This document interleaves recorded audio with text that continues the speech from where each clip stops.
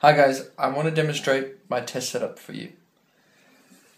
On this machine uh, is the, the test machine so much and this on, and machine on the right is the workstation and the machine on the left is connected to the workstation by a ethernet cable and the workstation is connected to the internet by a Wi-Fi connection. So this is a Webconverger machine and it's configured with the home page about blank so we don't want to have any uh, uh, we don't want it downloading anything. Um, it's in debug, so this is why I have a terminal. And I have this, I'm using a new feature where it logs to Papertrail.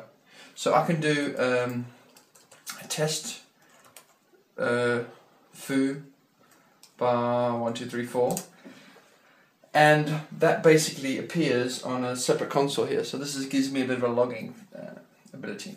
So I want to demonstrate um, what Webconverger can do which is quite different to other Linux distributions.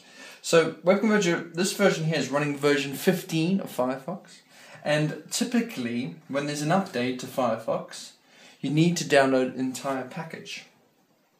So here's a network monitor I have going here, and here I am downloading the uh, official 15.01 uh, super compressed tar.bz2.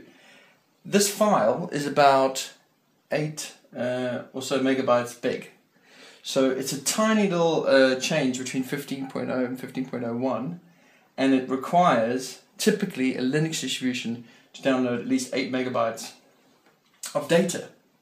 As you can see I'm uh, logging the, uh, the traffic here, I can see how many bytes is coming in and out uh, through this, through this uh, interface on the workstation. So now we have a setup where we can actually tell what's happening. And I'm going to demonstrate to you in the next video that um, using the Git-based updates is a far more efficient way to update your your operating system. And this is what uh, can natively do from version 15. Pretty exciting.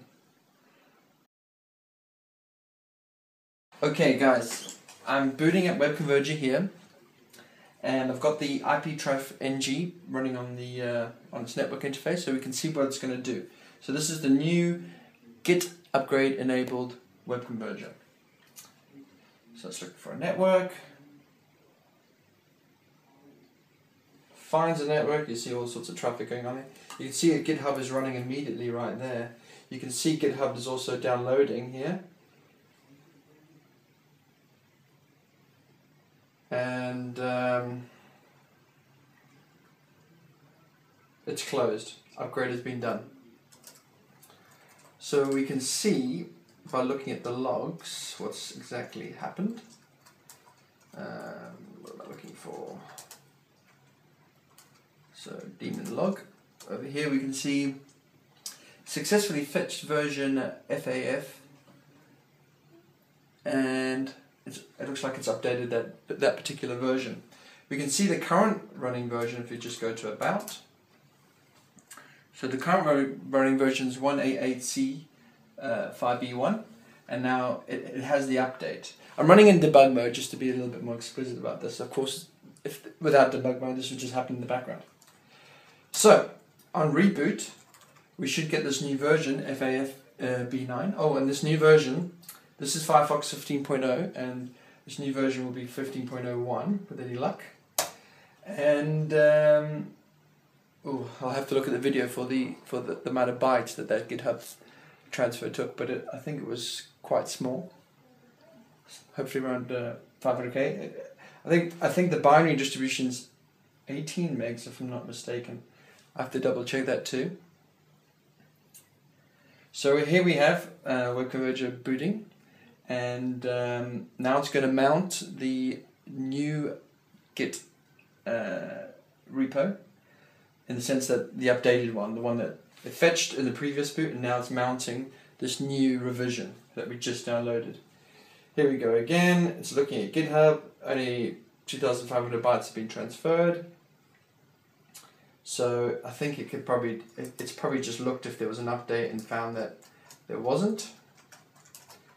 Cat daemon log. See, successfully fetch FAF, uh, already running FAF, no upgrade needed. So, what are we running now? As we can, we have a look at the about colon. And we're running 15.01 FAFB98. This demonstrates that Webconverger has done a GIP, a Git um, style upgrade, and it's doing it very efficiently with a binary diff. So there you have it. There's a demonstration, and I hope you give it a try.